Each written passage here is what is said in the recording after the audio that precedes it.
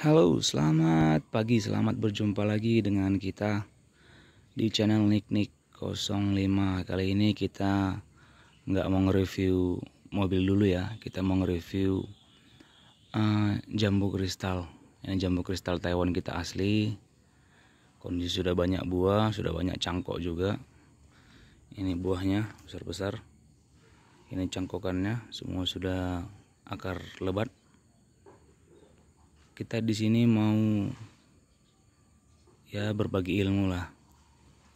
Kenapa memang jambu kristal itu di setiap video dibungkus? Kita bungkus semua buahnya itu juga.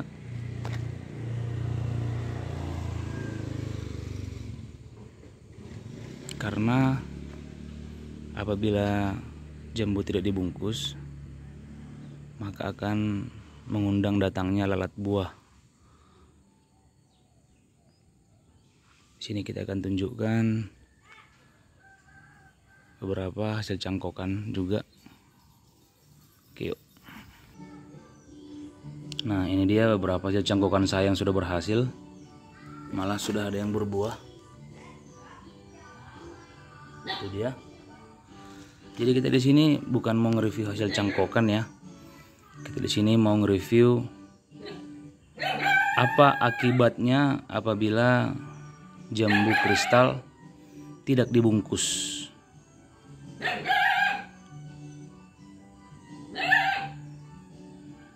Ini jambu kristalnya.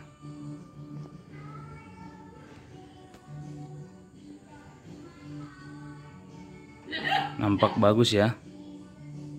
Sehat ya. Inilah kondisi jambu kristal dari tampilan luar.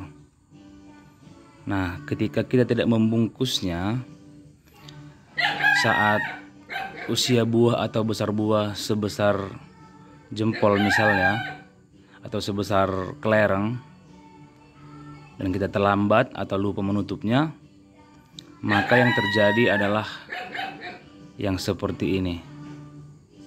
Tuh. Dari luar dia cantik bagus tapi di dalam dia busuk banyak ulat inilah akibatnya. Jangan sampai tampilan dari luar bagus ketika kita menjual nah konsumen komplain oh ini gimana nih? Kok berulat? Kok busuk di dalam? Inilah dia akibatnya.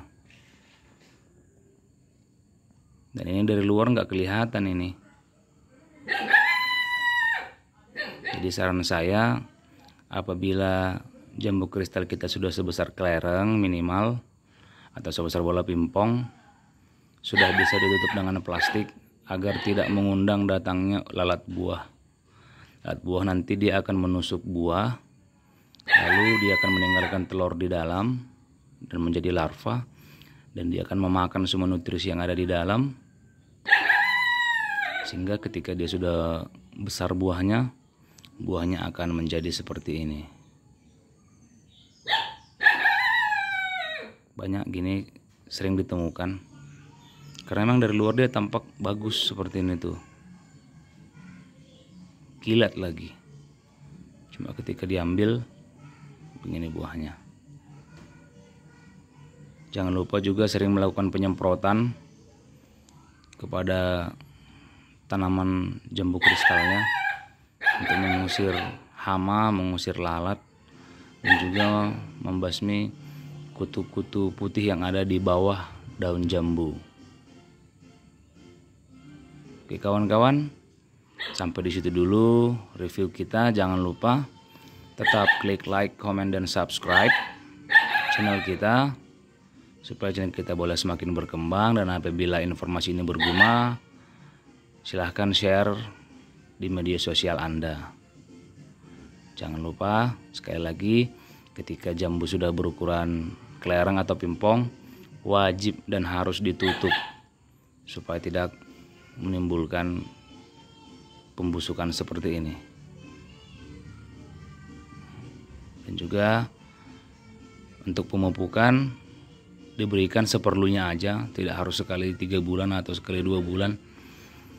Seperlunya aja ketika daun sudah mulai kuning boleh dipupuk kombinasikan pupuk kimia dan juga pupuk kandang atau organik. Hasilnya seperti ini buah. Pohon cangkokan saya. Sehat. Sehat semua. Oke. Sekian dulu infonya. Ciao